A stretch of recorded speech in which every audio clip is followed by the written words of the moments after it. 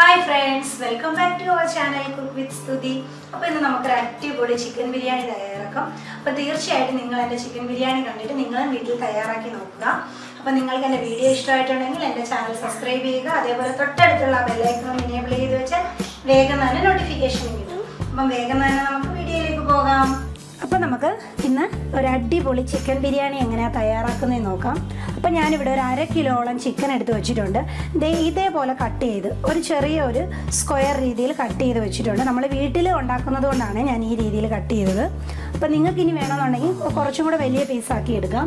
അപ്പോൾ ഇനി നമുക്ക് ഇതിലേക്ക് കുറച്ച് പൊടികൾ ആഡ് ചെയ്ത് ഇതൊന്ന് മാഗ്നേറ്റ് ചെയ്തെടുക്കണം. അപ്പോൾ അതിന് വേണ്ടി ഞാൻ ഇതിലോട്ട് ഫസ്റ്റിലെ തന്നെ ഒരു ടീസ്പൂണോളം ഇഞ്ചി വെളുത്തുള്ളി പേസ്റ്റ് ആഡ് ചെയ്ത് കൊടുക്കുവാണേ.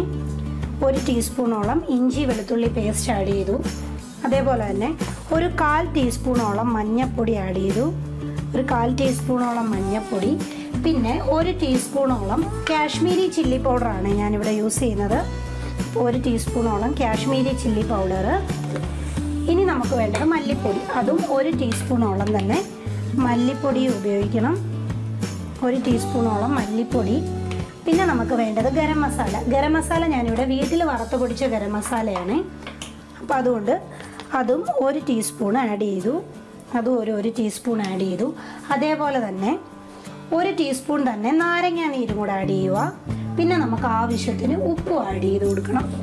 ഉപ്പും കൂടെ ആഡ് ചെയ്യാം. ഉപ്പും കൂടെ ആഡ് ചെയ്തു.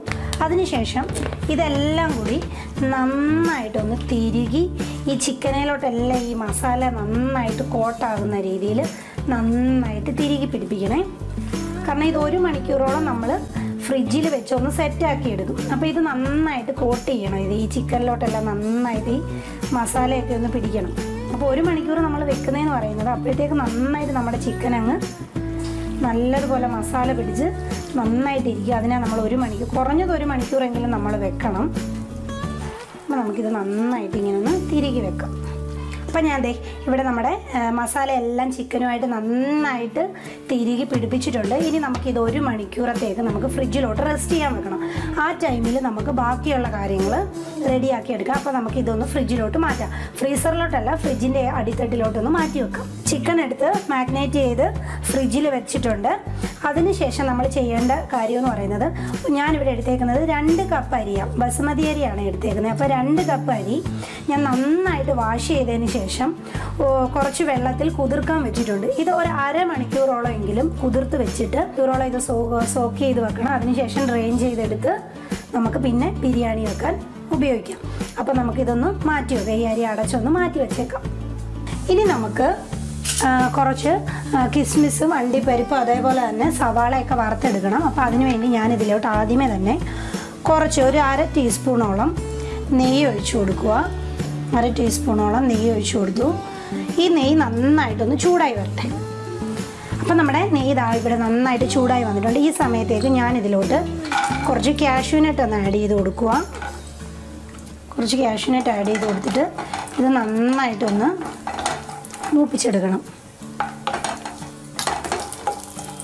ഇത് നന്നായിട്ടൊന്ന് മൂത്ത് വരട്ടെ. നമ്മുടെ കാഷ്യൂനട്ട് ഇതാണ്ടോ? നന്നായിട്ടൊന്ന് ബ്രൗൺ ഷെയ്ഡായിട്ട് നന്നായിട്ടൊന്ന് മൂത്ത് വന്നിട്ടുണ്ട്. ഇത് നമുക്കിനി മാറ്റി വെക്കാം. അതിനുശേഷം നമുക്ക് ഇതേ നെയ്യിലോട്ട് തന്നെ നമുക്ക് ഇരിക്കുന്ന കിസ്മിസും കൂടെ ചേർത്ത് കൊടുക്കാം. ഉണക്കമുന്തിരിയും കൂടെ ചേർത്ത് കൊടുക്കാം. ഇനി നമുക്കിതിലേക്ക് നമ്മൾ എടുത്തു വെച്ചിരിക്കുന്ന ആ കിസ്മിസും കൂടെ ചേർത്ത് കൊടുക്കാം. ഉണക്കമുന്തിരിയും കൂടെ ചേർത്ത് കൊടുത്തു. ഇതും നന്നായിട്ടൊന്ന് നന്നായിട്ടൊന്ന് ഫ്രൈ ആയി വരട്ടെ അതിന്റെ അകത്ത് കിടന്ന്. അപ്പം നമ്മുടെ കിസ്മിസ് ഇവിടെ റെഡി ആയിട്ടുണ്ട്. ഇത് നമുക്ക് ഇതിൽ നിന്ന് മാറ്റാം. അതിനുശേഷം നമുക്ക് നമ്മുടെ സവാള വറുത്തെടുക്കാം. ഇനി നമുക്കിവിടെ വറുത്തെടുക്കേണ്ടതെന്ന് പറയുന്നത് സവാളയാണ്. അപ്പം ഞാൻ അതിനു വേണ്ടി ഒരു കടായി വെച്ച് കൊടുത്തതിന് ശേഷം ഈ സവാള വറക്കാൻ ആവശ്യമായ എണ്ണയും കൂടെ ഒഴിച്ചു കൊടുക്കുക. ഈ സവാള നന്നായിട്ട് മുരിഞ്ഞു വരണ്ടേ? അപ്പോൾ ആ മുരിഞ്ഞു വരാൻ ആവശ്യമായിട്ടുള്ള എണ്ണയും ഒഴിച്ചു കൊടുത്തു. ഇനി ഈ എണ്ണ നന്നായിട്ടൊന്ന് ചൂടാവുകയും വേണം. അപ്പോൾ ഇവിടെ എണ്ണ നമ്മുടെ നന്നായിട്ട് ചൂടായിട്ടുണ്ട്. ഇതിലേക്ക് ഞാൻ വളരെ നൈസായിട്ട് അരിഞ്ഞ രണ്ട് സവാളയാണ്. രണ്ട് സവാള വളരെ നൈസായിട്ടാണ് ഞാൻ അരിഞ്ഞേക്കുന്നത്. നിങ്ങളും അരിയുമ്പോൾ ഒരേ രീതിയിൽ അരിഞ്ഞെടുക്കാൻ ശ്രമിക്കണം. കാരണം അപ്പം ഞാൻ ആ രണ്ട് സവാളയും നമ്മുടെ ഓയിലിലേക്ക് ആഡ് ചെയ്ത് കൊടുത്തിട്ടുണ്ട്. ഇത് കണ്ടോ? ഞാൻ വളരെ നൈസായിട്ടാണ് ഇത് അരിഞ്ഞേക്കുന്നത്. നിങ്ങളും അരിയുമ്പോൾ ഒരേ രീതിയിൽ അരിഞ്ഞെടുക്കാൻ ശ്രമിക്കണം. അല്ലെന്നുണ്ടെങ്കിൽ നമ്മുടെ നൈസായിട്ട് അരിയുന്നത് വേഗം കരിഞ്ഞു പോവുകയും അല്ലാത്തതുള്ള അവിടെ കിടക്കുകയും ചെയ്യും അതുകൊണ്ട് വളരെ നൈസായിട്ട് തന്നെ ഈ ഫ്രൈ ചെയ്തെടുക്കുന്നത് അരിഞ്ഞെടുക്കണം അതേപോലെ തന്നെ ഇത് നന്നായിട്ട് ബ്രൗൺ ഷെയ്ഡ് ആകുകയും വേണം. അപ്പോൾ അതേപോലെ നന്നായിട്ടൊന്ന് മൂപ്പിച്ചെടുക്കണം. കണ്ടോ നമ്മുടെ സവാള കണ്ടോ നന്നായിട്ട് മുരിഞ്ഞു വന്നിട്ടുണ്ട്. കരിഞ്ഞിട്ടൊന്നുമില്ല ഞാൻ വളരെ ലോ ഫ്ലെയിമിൽ കുറച്ച് ടൈം എടുക്കുമെങ്കിൽ പോലും ലോ ഫ്ലെയിമിൽ ഇട്ട് കൊടുത്ത് വേണം നിങ്ങളും ചെയ്യാൻ. ഇനിയിപ്പോൾ ഈ ഈ ഒരു കളറൊക്കെ ആകുമ്പോൾ നമുക്ക് മാറ്റി വെക്കാം. കാരണം നമ്മൾ മാറ്റി വെക്കുമ്പം പ്ലേറ്റിൽ ഇരുന്നും കൂടി ഇതൊന്ന് ഒന്ന് ചെറുതായിട്ടൊന്ന് കളർ മാറും. അപ്പോൾ അത്രയും അങ്ങ് മാറണ്ട. അതിന് നമുക്ക് ഇത് കോരി മാറ്റാം. സവാള വറുത്ത് മാറ്റി വെച്ചിട്ടുണ്ട്. അതിനുശേഷം ഞാൻ വേറൊരു കടായി വെച്ചു. നമുക്ക് ചിക്കൻ കറി ഇനി തയ്യാറാക്കി എടുക്കണം. അതിനുവേണ്ടി ഞാൻ വേറൊരു കടായി വെച്ച് കൊടുത്തിട്ടുണ്ട്. അതിലേക്ക് ഞാൻ ആ സവാള വറുത്ത എണ്ണയുടെ ബാക്കി എണ്ണയാണ് ഇതിൽ യൂസ് ചെയ്യുന്നത്. അപ്പോൾ ഞാൻ എണ്ണ ഒഴിച്ചു കൊടുത്തിട്ടുണ്ട്. അപ്പോൾ ഈ എണ്ണ നല്ലതുപോലെ ചൂടായി കിടക്കും. അതിലേക്ക് ഞാൻ ഒരു കറുവേപ്പെട്ട രണ്ട് ജാതിപത്രി അതേപോലെ തന്നെ നാല് ഗ്രാമ്പൂ പിന്നെ നാല് ഏലയ്ക്ക പിന്നെ ഒരു ബേ ലീവ്സ്. ഇത്രയും ഞാൻ ആഡ് ചെയ്ത് കൊടുക്കുക. ആഡ് ചെയ്തതിന് ശേഷം നന്നായിട്ടൊന്ന് ഇളക്കണം. നന്നായിട്ട് ഇതൊന്ന് ഇളക്കിയതിന് ശേഷം നമുക്ക് അരിഞ്ഞു വെച്ചിരിക്കുന്നത്. ഞാനിവിടെ രണ്ട് സവാളയാണ് അരിഞ്ഞു വെച്ചിരിക്കുന്നത്. ആ രണ്ട് സവാളയും രണ്ട് പച്ചമുളകും കൂടാണ് ഞാൻ ആഡ് ചെയ്യുന്നത് ഇതിലേക്ക്. രണ്ട് സവാളയും പച്ചമുളകും കൂടെ ആഡ് ചെയ്തു. ആഡ് ചെയ്തിട്ട് നന്നായിട്ടൊന്ന് ഇത് ഈ സവാള ഒന്ന് വേഗം വഴണ്ടി കിട്ടാൻ വേണ്ടി നമുക്ക് കുറച്ച് ഉപ്പൊന്ന് ആഡ് ചെയ്ത് കൊടുക്കാം. കുറച്ച് ഉപ്പൊന്ന് ആഡ് ചെയ്ത് കൊടുത്തു. അപ്പോൾ ഇത് വേഗം തന്നെ വഴണ്ടി കിട്ടും. അപ്പോൾ അതിന് വേണ്ടി ഞാൻ കുറച്ച് ഉപ്പ് ആഡ് ചെയ്ത് കൊടുത്തിട്ട് ഇതൊന്ന് നന്നായിട്ട് വഴറ്റിയെടുക്കണം. അപ്പം നമ്മുടെ സവാള ഒന്ന് വാടി അപ്പം നമുക്ക് ഈ ടൈമിൽ നമുക്ക് ഇഞ്ചി വെളുത്തുള്ളി പേസ്റ്റ് ഒരു അര ടേബിൾ സ്പൂണോളം ഇഞ്ചി വെളുത്തുള്ളി പേസ്റ്റും കൂടെ നമുക്ക് ആഡ് ചെയ്ത് കൊടുക്കാം.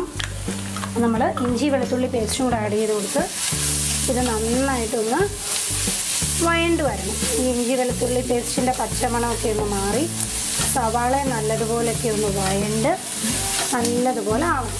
അപ്പോൾ നമുക്കിത് നല്ലതുപോലെ ഇങ്ങനെ ഇളക്കി കൊടുത്ത് എടുക്കാം നമ്മുടെ സവാള ഇവിടെ നന്നായിട്ട് വാടി വന്നിട്ടുണ്ട്. ഈ ടൈമിലേക്ക് നമുക്ക് പൊടികൾ ചേർത്ത് കൊടുക്കാം. ഫസ്റ്റിലെ തന്നെ ഒരു ടേബിൾ സ്പൂണോളം മല്ലിപ്പൊടി ആഡ് ചെയ്ത് കൊടുക്കാം. ഒരു ടേബിൾ സ്പൂൺ രണ്ട് അര ടേബിൾ സ്പൂണിന്റെ ആണ് ഞാൻ രണ്ടു വട്ടം ആഡ് ചെയ്ത് കൊടുത്തത്. ഒരു ടേബിൾ സ്പൂൺ മല്ലിപ്പൊടി അതേപോലെ തന്നെ അര ടീസ്പൂൺ അര ടീസ്പൂൺ കാശ്മീരി ചില്ലി പൗഡർ അര ടീസ്പൂൺ കാശ്മീരി ചില്ലി പൗഡർ പിന്നെ വേണ്ടത് ഗരം മസാല. ഗരം മസാലയും നമുക്ക് ഒരു ടീസ്പൂണാണ് വേണ്ടത്. ഞാൻ വറുത്ത് പൊടിച്ച ഗരം മസാല അപ്പോൾ അതുകൊണ്ട് ഒരു ടീസ്പൂൺ ഗരം മസാല. പിന്നെ വേണ്ടത് ക്രഷ്ഡ് പെപ്പറാണ് ഒന്ന് ചത ഒന്ന് പൊടിച്ചെടുത്ത പെപ്പർ പെപ്പർ നമുക്ക് ഒരു അര ടീസ്പൂൺ പെപ്പർ പൗഡറും കൂടെ ചേർത്ത് കൊടുക്കാം.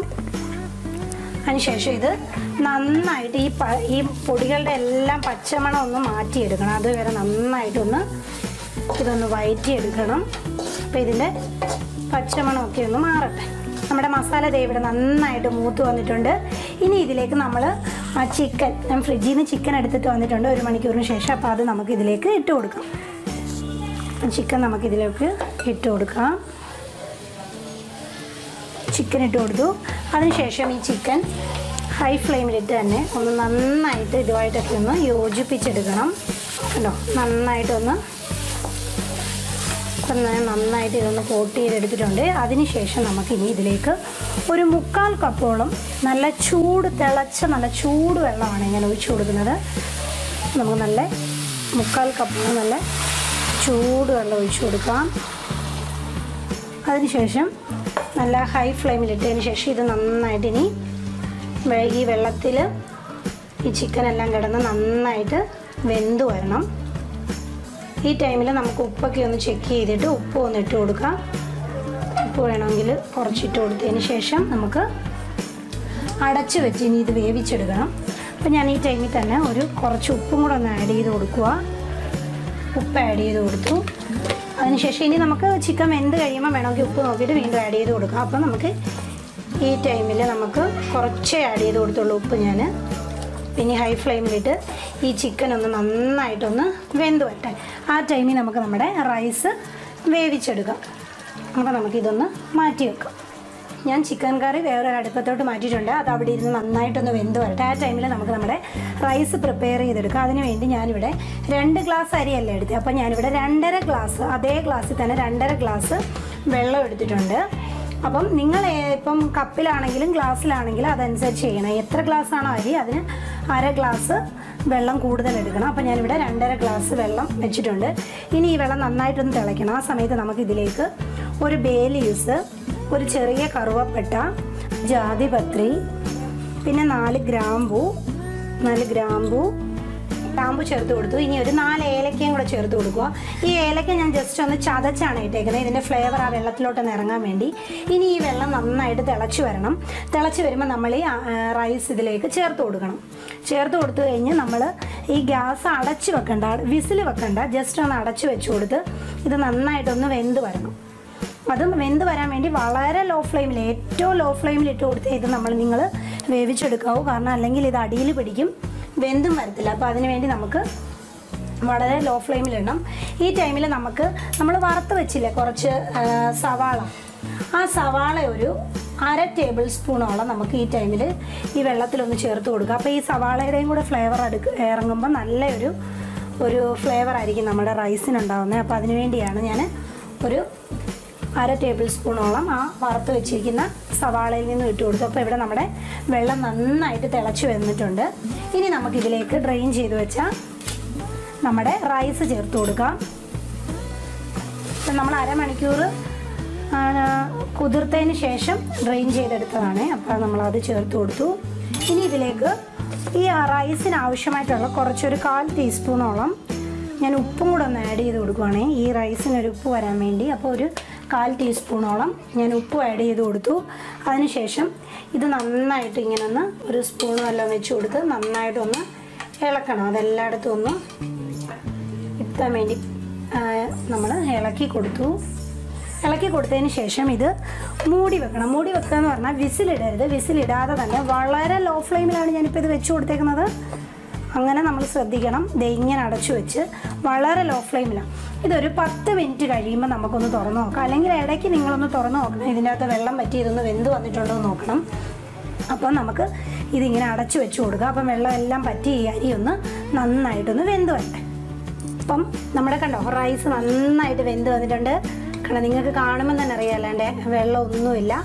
പിടിച്ച് നന്നായിട്ട് ഒരു സെവന്റി ഫൈവ് പെർസെന്റേജോളം നമ്മളുടെ അരി ഒന്ന് വെന്ത് വന്നിട്ടുണ്ട്. ഇനി നമുക്കിത് ദമ്മ് ചെയ്യുമ്പോൾ ബാക്കിയും കൂടെ വേവാനുണ്ടെങ്കിൽ അതിലിരുന്ന് വെന്തോളൂ. കാരണം റൈസ് എല്ലാം റെഡിയായി അപ്പോൾ ഇനി നമുക്കിത് മാറ്റി വെച്ചതിന് ശേഷം നമ്മുടെ ചിക്കൻ കറി എന്തായെന്ന് നോക്കാം. കണ്ടോ അപ്പോൾ നമ്മുടെ ചിക്കൻ കറി ഇവിടെ നന്നായിട്ട് വെന്തു. വെന്ത് കുറച്ച് ഗ്രേവി ഉണ്ട്. ഇത്രയും ഗ്രേവി വേണം നമുക്ക്. അപ്പം ഞാൻ ഈ ടൈമിൽ നമ്മൾ വറുത്ത് വെച്ചിരുന്നില്ല കുറച്ച് സവാള? അതിന്റെ അകത്തുനിന്ന് കുറച്ച് ഒരു എന്റെ ഒരു പിടിയോളം സവാള ഞാനിപ്പം ഈ ചിക്കനിലോട്ടൊന്ന് ചേർത്ത് കൊടുക്കുക. കുറച്ച് മതിയേ. കുറച്ച് സവാള ചേർത്ത് കൊടുത്തു. അപ്പോൾ ഈ സവാള ചേർത്ത് കൊടുത്തതിന് ശേഷം ഈ ചിക്കൻ നന്നായിട്ട് വീണ്ടും ഒന്ന് ഇളക്കി നമുക്ക് യോജിപ്പിച്ചതിന് ശേഷം നമുക്ക് ഇത്രയും ഗ്രേവി വേണം നമ്മളുടെ ബിരിയാണി വെക്കാൻ അപ്പോൾ നമ്മൾ ഈ പാത്രത്തിലോട്ട് തന്നെ ദമ്മും ചെയ്യുന്നത് അപ്പോൾ അതുകൊണ്ട് തന്നെ ഇതിൽ തന്നെ ഞാൻ ആ സവാളയും കൂടി ഇട്ട് ഒന്ന് ഇളക്കി കൊടുത്തു. അതിനുശേഷം ഇനി ഞാൻ ചെയ്യുന്നതെന്ന് പറയുന്നത് ഇത്രയും ഗ്രേവി വേണമല്ലോ. ഇപ്പം ഇങ്ങനെ ആക്കി വെച്ചതിന് ശേഷം ഞാൻ ഇതിലേക്ക് അപ്പോൾ ഇനി നമുക്ക് ഇതിപ്പം ദേ ഇത്രയും ഗ്രേവിയോട് കൂടി നിങ്ങൾക്ക് കാണാമല്ലോ ഉണ്ട്. അപ്പോൾ ഇനി ഇതിനെ ഇതിലേക്ക് നമുക്ക് കുറച്ച് പുതിനയില ഈ ചിക്കന്റെ മേളിലേക്ക് കുറച്ച് പുതിനയില കുറച്ച് മതിയേ കുറച്ച് അതിന്റെ ഒരു ഫ്ലേവറിന് വേണ്ടിയാണേ പുതിനയില അപ്പം നമ്മൾ കുറച്ച് പുതിനയില ഇട്ട് കൊടുത്തു. അതേപോലെ തന്നെ ഞാൻ കുറച്ച് മല്ലിയിലയും കൂടി ഇട്ട് കൊടുക്കുവാണേ. കുറച്ച് മല്ലിയിലയും കൂടെ പിച്ചിട്ട് കൊടുത്തു. കുറച്ച് മല്ലിയിലയും പിച്ചിട്ട് കൊടുത്തതിന് ശേഷം നമുക്ക് ഇനി ഇതിലേക്ക് നമ്മുടെ റൈസ് ആഡ് ചെയ്ത് കൊടുക്കാം. നമ്മൾ വേവിച്ച് വെച്ചിരിക്കുന്നില്ലേ ആ റൈസ് ആഡ് ചെയ്ത് കൊടുക്കാം.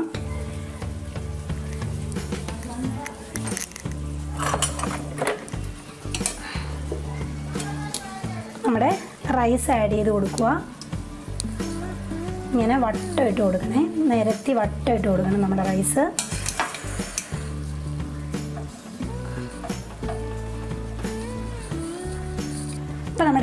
റൈസ് എല്ലാം ഞാൻ ഇതേ ഇതേപോലെ ഒന്ന് ആഡ് ചെയ്ത് കൊടുത്തിട്ടുണ്ട്. അതിനുശേഷം നമുക്കിനി ഇതിലേക്ക് വേണമെങ്കിൽ നമുക്ക് കുറച്ച് പാലിൽ നമുക്ക് മഞ്ഞപ്പൊടി ആഡ് ചെയ്ത് കൊടുക്കും മഞ്ഞപ്പൊടി ആഡ് ചെയ്ത് കുറച്ചൊരു കാൽ ടീസ്പൂണോളം മഞ്ഞപ്പൊടി ഒന്ന് ആഡ് ചെയ്തിട്ട് വട്ടം ഒന്ന് ഒഴിച്ചു കൊടുക്കാം അല്ലെന്നുണ്ടെങ്കിൽ നമുക്ക് നമ്മുടെ കുങ്കുമപ്പൂ ഇല്ലേ അതും ഒന്ന് പാലിലോട്ട് ചാലിച്ച് കൊടുത്തിട്ട് നമുക്കൊന്ന് ഒഴിച്ചു കൊടുക്കാം. പക്ഷെ ഞാൻ ഈ ടൈമിൽ ഇവിടെ ചേർത്ത് കൊടുക്കുന്നതെന്ന് പറയുന്നത് പൈനാപ്പിൾ എസൻസ് ആണ്. പൈനാപ്പിളിന്റെ എസൻസ് എന്റെ കയ്യിൽ ഉണ്ടായതുകൊണ്ട് ഞാൻ കുറച്ച് പൈനാപ്പിൾ എസൻസ് ആണ് ഈ ടൈമിലൊന്ന് ഇതിലോട്ട് സ്പ്രെഡ് ചെയ്ത് കൊടുക്കുന്നത്. നിങ്ങളുടെ കയ്യിൽ പൈനാപ്പിൾ എസൻസ് ഉണ്ടെങ്കിൽ അത് ചേർത്ത് കൊടുക്കാം. അല്ലെന്നുണ്ടെങ്കിൽ ഞാൻ പറഞ്ഞതുപോലെ കുങ്കുമപ്പൂ പാലിൽ ഒഴിച്ചു കൊടുക്കുക അതേപോലെ തന്നെ വേണമെങ്കിൽ കുറച്ച് പാലിൽ മഞ്ഞപ്പൊടി ആഡ് ചെയ്തും നമുക്ക് ഒഴിച്ചു കൊടുക്കാം ഈ ടൈമിൽ.